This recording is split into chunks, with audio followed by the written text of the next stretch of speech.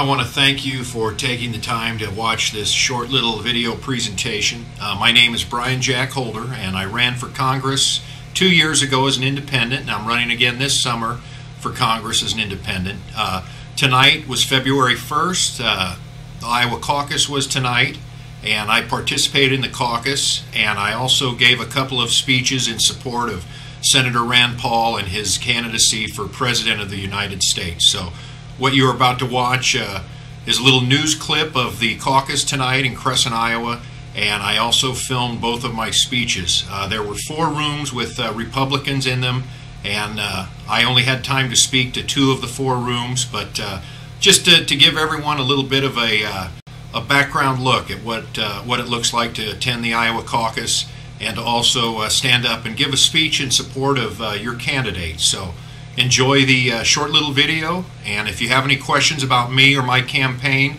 my website is holderforiowa.com, and that's H O L D E R F O R Iowa.com. Thank you. On tonight's Iowa, on tonight's Iowa Crescent, Iowa, Democrats and Republicans gathering in the same building. It's my first time. First time. The turnout tonight at Crescent Elementary School. Republicans in this room and Democrats in this room this unique presidential process on display. My nomination is for Ted Cruz. It's also legal immigration that I'm primarily concerned with. Rick Santorum served eight years on the Armed Services Committee. But you time the speakers. They only get so much time. Five minutes is what they're allotted. For the Republicans, a vote follows the talks. We ran out of, out of voting things. Very good. The gymnasium filled with Democrats. We ratify these delegates. Bernie has six, Hillary has eight. We have more delegates, which is great. For standing room only until the seven o'clock when they shut the door and didn't allow any more in. So. That was wonderful. Hard to find a place to park there tonight. I bet. You know, Crescent, a town of about 600 people, and several other area communities were also there. So it was a great turnout tonight, a, a record. Next. This gentleman. Thank you so much for coming out tonight. Uh, some of you may know who I am. Some of you may think I just stepped out of a time vortex. But uh, my name is Bryan Jack Holder, and uh, I'm here to speak uh, in support of Rand Paul. I wouldn't tell anyone here who to vote for. I ran for Congress two years ago. I'm running again, and uh, that's your choice who to vote for. But I've studied all of the candidates, and from my less than expert opinion, the only one who doesn't want to start World War III or Civil War II is Rand Paul. I've met him several times. I've had my photo taken with him, and I stood next to him as a free man, as a freeborn American, carrying a Glock on my hip. I didn't have to go through security like I've had to do with other candidates. He understands the Constitution, the Bill of Rights, and he understands that we all own ourselves, that no one has a prior claim on us or the fruits of our labor. Uh, and he talked about one of the serious things is the national debt. The country is so deeply indebted that it's never going to be paid off. Now, most of the candidates have to tell us that they have a plan to reduce the national debt, but the country is going to default on it at some point because we went off the gold standard generations ago, and now we're on the uranium and the plutonium standard. And so I ask all of us, I thank you for being here tonight, but just think about the future of our children and our grandchildren and what kind of country we're going to leave to them.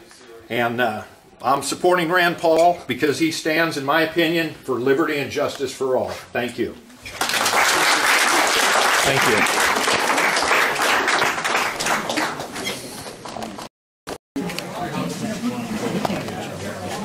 Okay.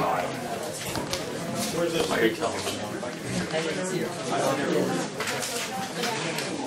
I was going to speak in support of Senator Paul, but if no one wants to hear it, that's fine. All right, uh, my name's Bryan Jack Holder. I uh, grew up out here in Crescent. I attended school here. I may have even spent time in this very classroom. So uh, a couple years ago, I ran for Congress. I'm running again. I'm not getting paid by the Paul campaign to speak here tonight, but I wouldn't tell anyone here who to vote for. I didn't ask anybody to even vote for me. So that's a private decision, and it's up to each one of you to make that decision. But uh, the country has some serious problems. Uh, especially the national debt. Uh, we can't continue the welfare warfare state because the national debt is never going to be paid off and the country's going to default on it at some point. So each one of us needs to look at whatever values you hold dear, whatever issues are important to you, and to vote for that candidate. Uh, the reason I support Rand is basically I've met him several times. I've had my photo taken with him wearing this crazy outfit, and uh, I carried my Glock on my hip. I stood next to him as an armed free man. And some of the other candidates I could not get that close to. You know, you had to go through security and they treat you like you're a second class citizen. So, Rand Paul, he has a basic, uh, from my understanding, I think he, he defends the Bill of Rights on the floor of the Congress. He stood up against the NSA spying on all of us.